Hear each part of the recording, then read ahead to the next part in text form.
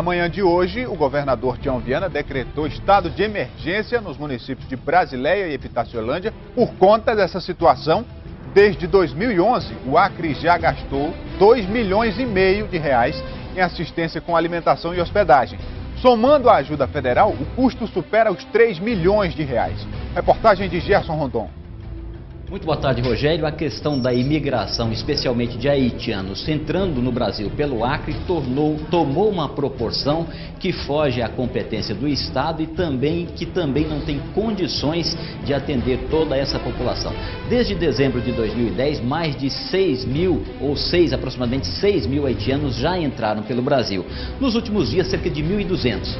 Ainda há pouco, o governador Tião Viana assinou aqui um decreto de emergência social nos municípios de Brasileia e Itaciolândia em razão dessa situação. Governador, o que é que implica exatamente esse decreto? Olha, é uma chamada de atenção ao Brasil, às instituições do Estado Nacional, ao que a Constituição é, Federal determina para as funções de Estado, cada um nas suas atribuições. O governo do Acre sozinho não vai dar conta dessa questão, já são mais de 5.500 imigrantes ilegais. Nós temos hoje mais de 1.200 pessoas lá com a incapacidade de, de serem cuidadas como deveriam, porque é uma situação que foge ao controle do Estado.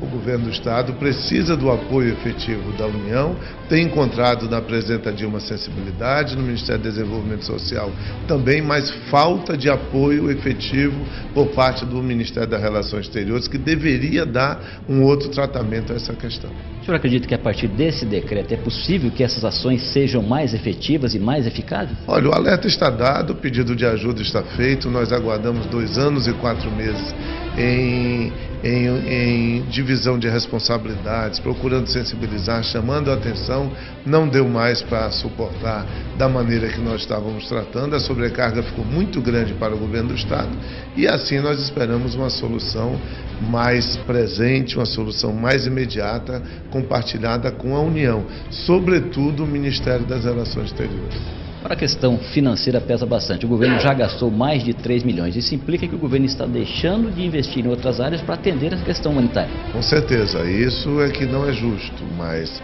nós temos uma ministra do Desenvolvimento Social muito solidária, desde o segundo semestre do ano passado ela procura estar presente em apoio, só que o ministro das Relações Exteriores, que tem a solução dessa questão na mão, que exigiu o visto de entrada com o governo peruano, pedir que o governo peruano o faça e que o governo do Equador também o faça, e assim nós teríamos um controle da imigração ilegal para a região, o Ministério das Relações Exteriores não tem agido. Muito obrigado ao governador Tião Viana pelas informações. Esperamos que agora se resolva esse problema, governador. Muito obrigado a vocês e é o que nós esperamos. Tá certo. Obrigado então ao governador Tião Viana. E ontem, na tribuna do Senado, o senador Jorge Viana cobrou uma ação mais efetiva do Ministério das Relações Exteriores, inclusive com a vinda dos representantes a Brasileia e Epitaciolândia para verem de perto a situação em que se encontram essas pessoas. Gerson Rondon, para o Gazeta Lerdo.